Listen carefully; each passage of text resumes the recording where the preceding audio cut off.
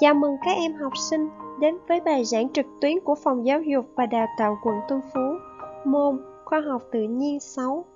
Cô xin tự giới thiệu, cô tên là Võ Thị Thiên Lý, hiện đang công tác tại trường trung học cơ sở Lê Lợi. Cô rất vui khi được đại diện nhóm khoa học tự nhiên của trường đồng hành cùng với các em trong tiết học hôm nay. Để kết quả tiết học được tốt nhất, các em cần chuẩn bị đầy đủ Sách giáo khoa khoa học tự nhiên 6 Vở ghi bài và các dụng cụ học tập cần thiết như bút, thước kẻ. Trong quá trình theo dõi bài giảng, chúng ta cần lưu ý. Để dừng bài giảng, chúng ta bấm nút Pause. Để tiếp tục bài giảng, chúng ta bấm nút Play. Và đây là biểu tượng cho nội dung mà các em cần ghi vào vở. Hôm nay chúng ta cùng ôn tập về các chủ đề đã học. Chủ đề 2 các thể của chất, chủ đề 3 oxygen và không khí và cuối cùng là chủ đề 5 chất tinh khiết hỗn hợp phương pháp tách các chất. Đầu tiên, chúng ta ôn tập chủ đề 2 các thể của chất. Các em cùng xem lại sách giáo khoa và tập ghi bài để hệ thống kiến thức nhé. Ở mỗi chủ đề, cô sẽ chia nội dung ôn tập thành hai phần. Phần thứ nhất là phần kiến thức cần nhớ và phần thứ hai là phần câu hỏi trắc nghiệm. Và sau đây, cô mời các em cùng đi vào phần thứ nhất, phần kiến thức cần nhớ. Chất có các tính chất, tính chất vật lý, không tạo thành chất mới, tính chất hóa học, có tạo thành chất mới sự đa dạng dựa vào tính chất vật lý, chất gồm ba thể cơ bản, thể rắn, thể lỏng, thể khí. Trong tự nhiên và trong các hoạt động của con người, các chất có thể chuyển từ thể này sang thể khác. Sự nóng chảy là quá trình chuyển từ thể rắn sang thể lỏng của chất. Sự đông đặc là quá trình chuyển từ thể lỏng sang thể rắn của chất. Sự bay hơi là quá trình chuyển từ thể lỏng sang thể hơi, thể khí của chất. Sự ngưng tụ là quá trình chuyển từ thể khí sang thể lỏng của chất. Từ ba thể của chất hình thành nên vật thể. Vật thể có thể là vật thể tự nhiên, vật thể nhân tạo. Vật thể bao gồm những vật vô sinh, vật không sống như đất, đá, nước, cái bàn, vân vân. Vật hữu sinh là những vật sống như cây xanh, chó, mèo, con kiến. Đây là sơ đồ hệ thống kiến thức của chủ đề 2. Các em có thể bấm nút dừng bài giảng để xây dựng cho mình một sơ đồ kiến thức theo ý em nhé.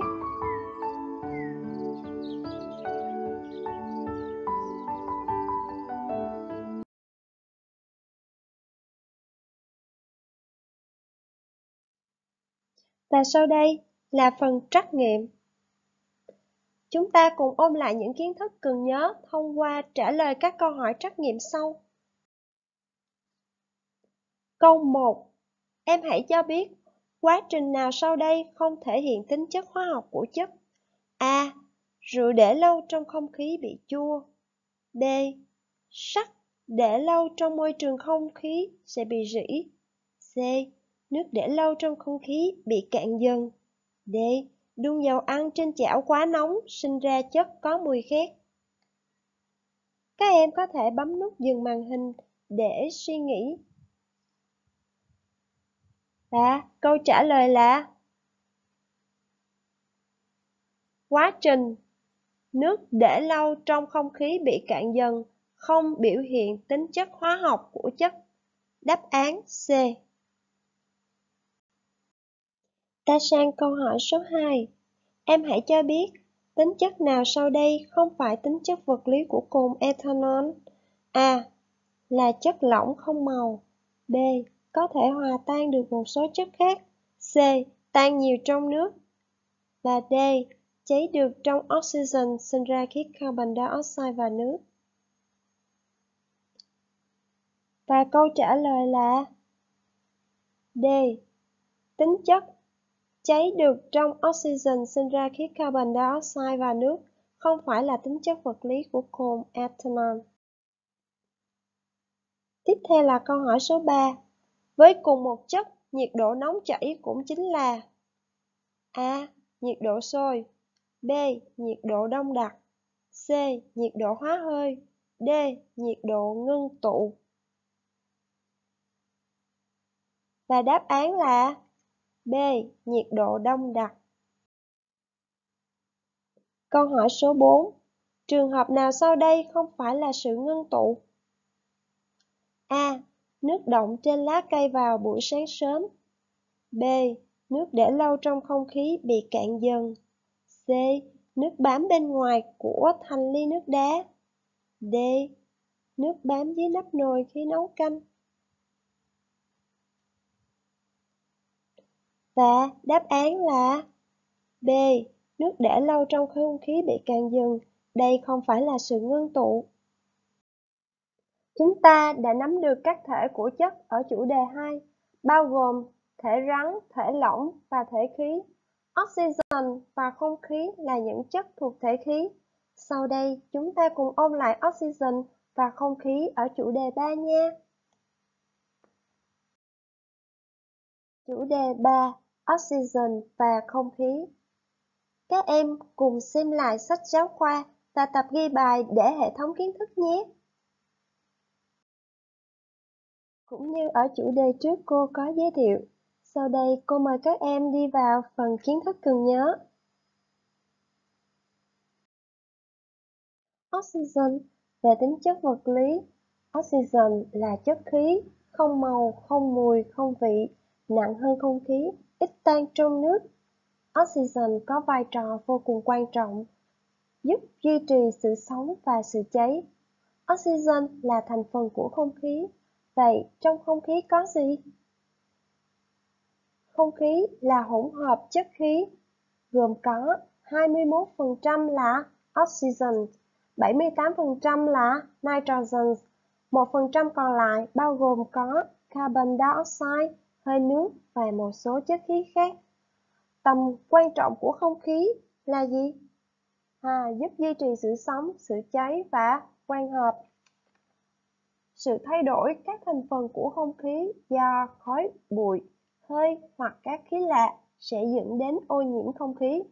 Ta có thể dựa vào những biểu hiện như có mùi khó chịu, giảm tầm nhìn, da mắt bị kích ứng, nhiễm các bệnh về đường hô hấp hoặc hiện tượng thời tiết cực đoan như là sương mù giữa ban ngày để phân biệt được không khí bị ô nhiễm. Nguồn ô nhiễm không khí là do con người hoặc là tự nhiên. Chất gây ô nhiễm không khí là các chất ở dạng nhỏ lơ lửng trong không khí gây hại cho con người và môi trường. Vậy để bảo vệ môi trường không khí, ta cần có những biện pháp nào? Cô có một vài gợi ý. Ta có thể sử dụng phương tiện giao thông công cộng hoặc sử dụng phương tiện cá nhân như xe đạp, trồng nhiều cây xanh, sử dụng các nguồn nguyên liệu sạch, thân thiện với môi trường các em nhé. Các em có thể bấm nút dừng màn hình. À, đây là sơ đồ gợi ý. À, các em có thể hình thành nên sơ đồ của riêng mình các em nhé.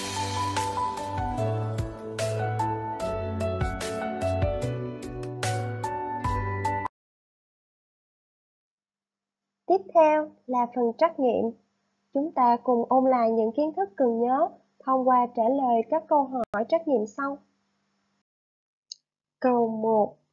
Để phân biệt hai chất khí là oxygen và carbon dioxide, em nên lựa chọn cách nào dưới đây? A. Quan sát màu sắc của hai chất khí đó. B. Dẫn từng khí vào cây nến đang cháy. Khí nào làm nến cháy tiếp thì đó là oxygen. Khi làm tắt nến là carbon dioxide. C. Ngửi mùi của hai khí đó. D. Quan sát màu sắc và ngửi mùi của hai khí đó.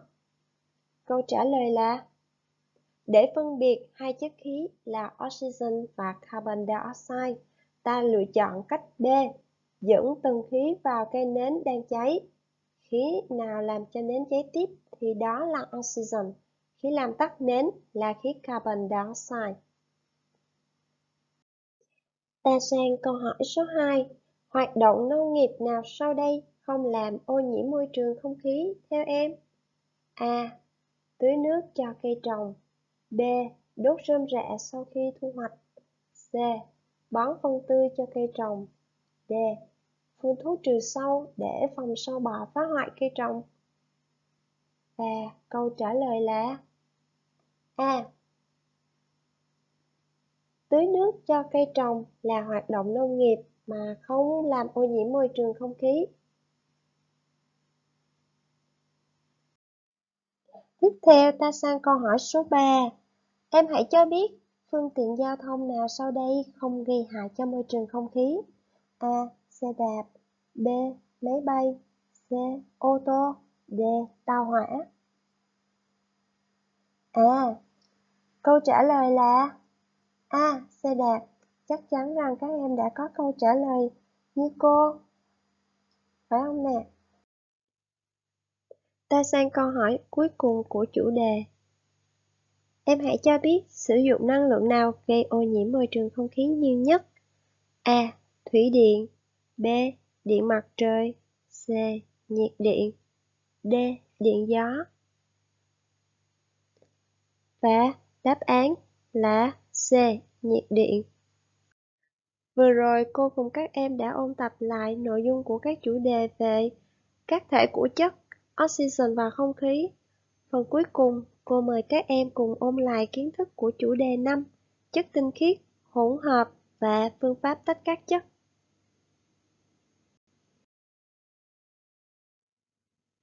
Chủ đề 5, chất tinh khiết, hỗn hợp và phương pháp tách các chất. Các em cùng xem lại sách giáo khoa và tập ghi bài để hệ thống kiến thức nhé.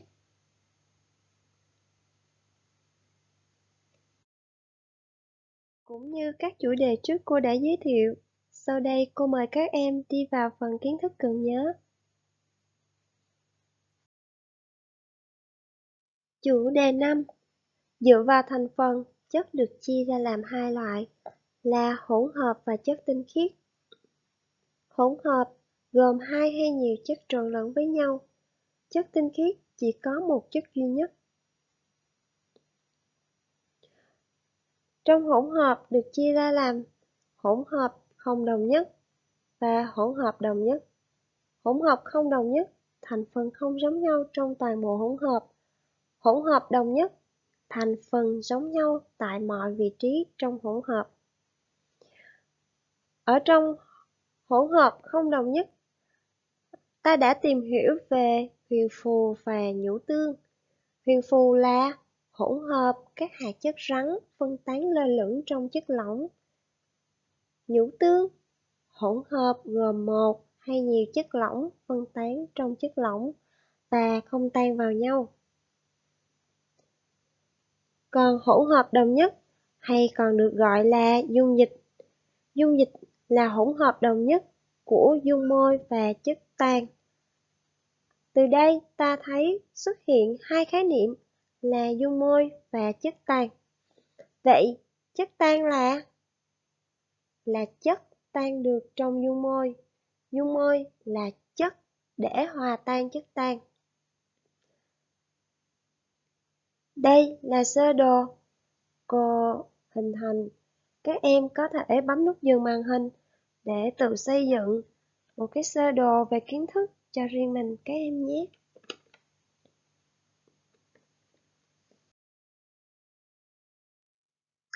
Nếu chúng ta muốn chuyển từ hỗn hợp thành chất tinh khiết, thì chúng ta phải sử dụng phương pháp tách chất. Các phương pháp tách chất đơn giản ở chủ đề 5 có 3 phương pháp. Phương pháp thứ nhất là phương pháp lọc, phương pháp thứ hai là phương pháp khô cạn và phương pháp thứ ba là phương pháp chiết. Đây là hai sơ đồ để thể để hệ thống lại kiến thức của chủ đề 5. Các em có thể dựa vào hệ thống kiến thức này để tự xây dựng cho mình sơ đồ kiến thức của riêng mình nha.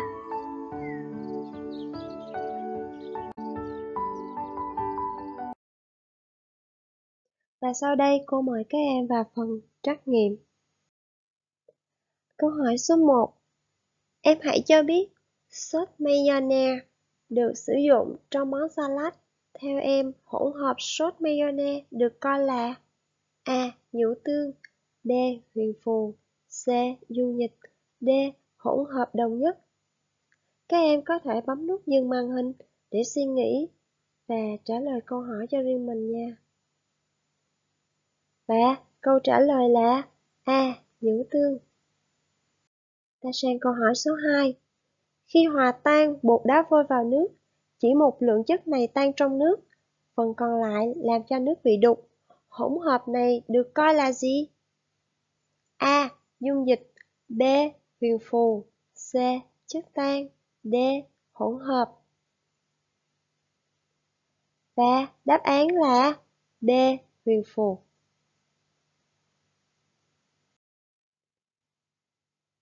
Ta tiếp tục sang câu hỏi số 3. Khi hòa tan đường vào nước, ta được hỗn hợp nước đường. Khi này đường là A. Dung dịch B. Chất tan C. Dung môi D. Hỗn hợp Và đáp án là B. Chất tan Câu hỏi cuối cùng của chủ đề Để phân biệt chất tinh khiết và hỗn hợp, ta dựa vào A. Tính chất của chất B. Số chất tạo nên C. Thể của chất D. Mùi vị của chất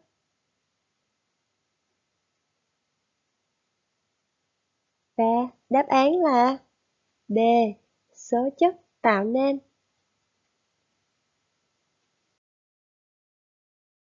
Để giúp các em chuẩn bị cho bài kiểm tra cuối kỳ thật tốt, cô mời các em cùng ôn tập phần tự luận.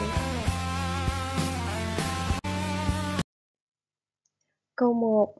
Mời các em theo dõi tình huống và trả lời câu hỏi.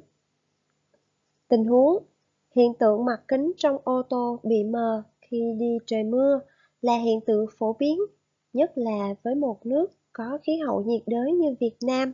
Khi đó, tầm quan sát của người lái sẽ bị giảm đi đáng kể, dẫn đến nguy cơ mất an toàn khi lái xe. Câu hỏi Theo em, chất gì đã bám lên trên mặt kính trong ô tô làm mơ kính? À, câu trả lời là hơi nước. Câu hỏi tiếp theo Làm thế nào để khắc phục hiện tượng kính ô tô bị mờ?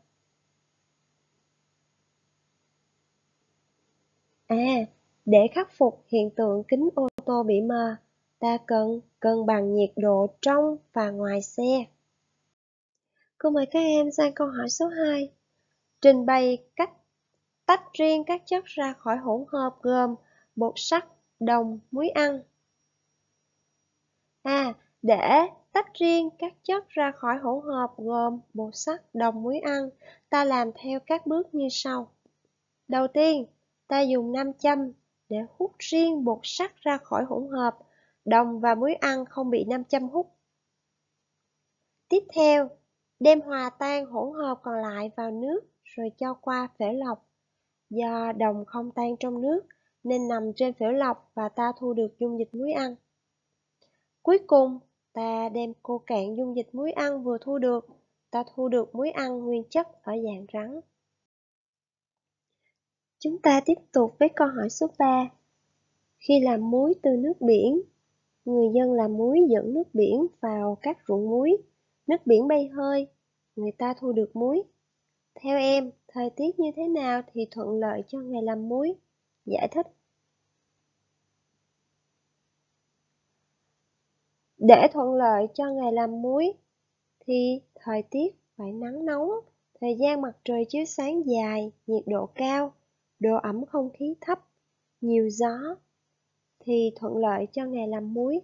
Vì các điều kiện trên giúp cho quá trình bay hơi của nước biển diễn ra nhanh hơn.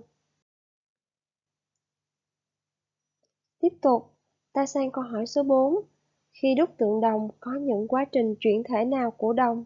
Quá trình đó có tên gọi là gì? À, khi đúc tượng đồng, đồng sẽ chuyển từ thể rắn sang thể lỏng, gọi là sự nóng chảy. Đồng để trong khuôn khi nguội sẽ chuyển từ thể lỏng sang thể rắn, gọi là sự đông đặc. Câu hỏi số 5.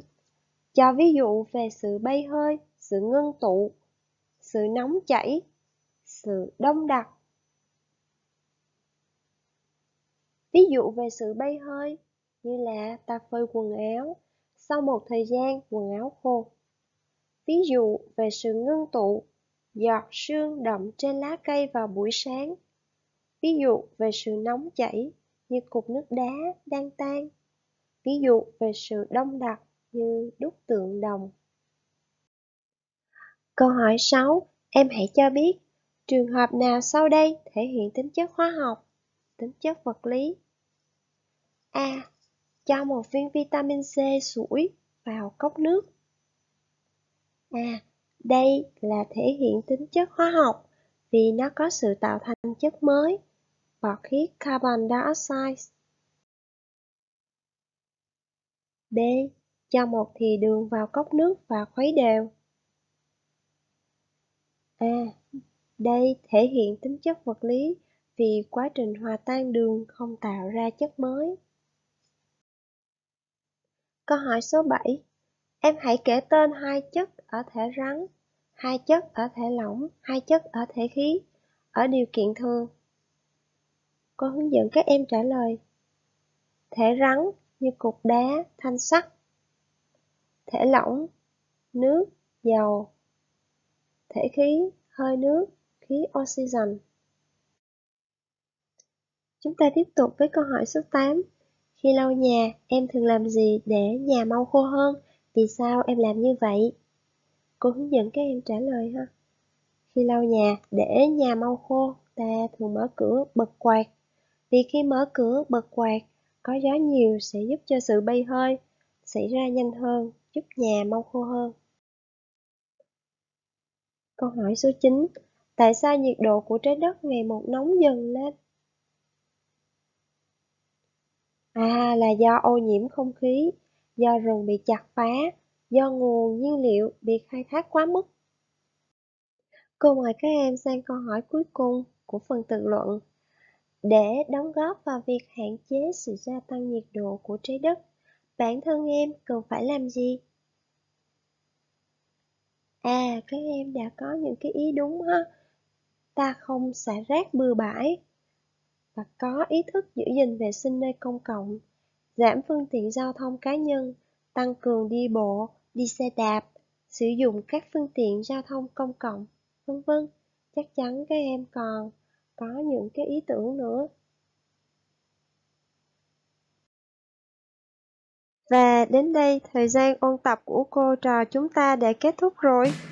Nhiệm vụ về nhà, các em xem lại sơ đồ hệ thống kiến thức của các chủ đề 2, 3, 5 và xem trước chủ đề 6, 7, 8 các em nhé.